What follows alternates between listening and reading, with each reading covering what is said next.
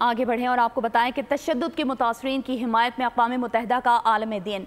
तशद के इस्तेमाल के लिए भारतीय फ़ौज को हुकूमत ने खुला हाथ दिया जिसे तहरीक आज़ादी को कुचादी को कुचलने के हरबे के तौर पर इस्तेमाल किया जाता है। भारतीय हुकूमत मकबूजा कश्मीर में तशद को बतौर पॉलिसी इस्तेमाल करती है।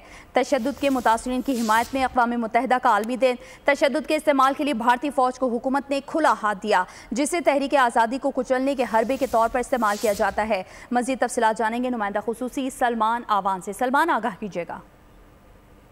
सही है, एक तरफ़ तो पूरी दुनिया में हम देख रहे हैं कि तशद के मुतासरीन जो है, यानी कि जो वायलेंस पे लोग मुतासर होते हैं, उनकी हिमायत में एक आलमी दिन बनाया जा रहा है। लेकिन दूसरी तरफ़ पूरी दुनिया की सामने है कि किस तरह से हिंदुस्तानी फौज, भारतीय फौज, मकबूजा कश्मीर में गुजशत सत्तर साल से जुल्म और जबर का एक बाज़ार गर्म किए हुए है और उसके हवाले से इंसानी हकूक की तंजीमें और बैन अवी एन जी ओज भी अब तो कह रही हैं कि भारतीय हुकूमत मकबूजा कश्मीर में तशद को एक पॉलिसी के तौर पर अपना रही है ताकि इस पॉलिसी के ज़रिए तशद के ज़रिए कश्मीरी अवाम के जज्बा हुरियत को कुचला जा सके। इसके साथ हिंदुस्तानी फौज जो है तशद के मुख्तलिफ़ तरीकों के, जैसा कि हम सब जानते हैं, इस्तेमाल करती है, जिसमें जिनसी तशद है, इसमें दरी और बदफेली के वाकत हैं वाटर बोर्डिंग है जिसमानी अजा को गर्म अशिया से जलाना, दागना शामिल है, कैद तनहाई है और इसके अलावा दीगर तशद के तरीके जो है वो अपनाए जाते हैं। एक जाम रिपोर्ट सामने आई है जिसमें कहा गया कि Indian states instrument of control in Indian administrator Jammu and Kashmir के अनुमान से ये रिपोर्ट है। उसमें कहा गया है कि भारतीय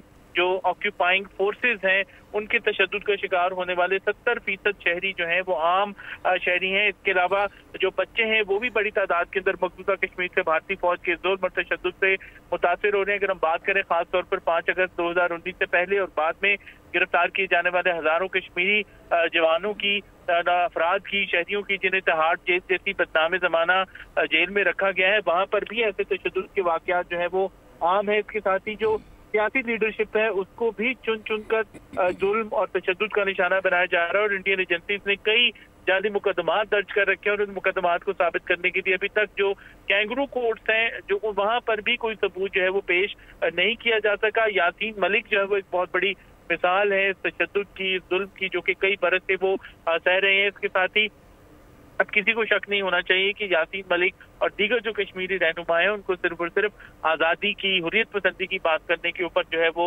सजा दी जा रही है। इसके साथ ही खातन और कई बच्चे जो हैं जो कि एडल्ट नहीं है वो भी इन जेलों के अंदर कैद हैं और मकबूजा कश्मीर की एक पूरी आबादी जो है वो हम सब जानते हैं कि एक तरह से पूरी आबादी को एक बहुत बड़ी इंसानी जेल के अंदर तब्दील किया जा चुका है और पूरे आबादी जो है मकबूजा कश्मीर की वो ना सिर्फ़ मारपीट का निशाना बनती है जिनसी तशद का निशाना बनती है।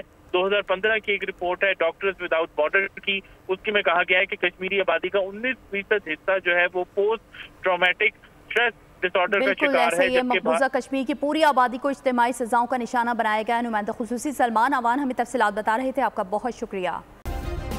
सब्सक्राइब करें और बेल दबाएँ ताकि कोई खबर रह न जाए।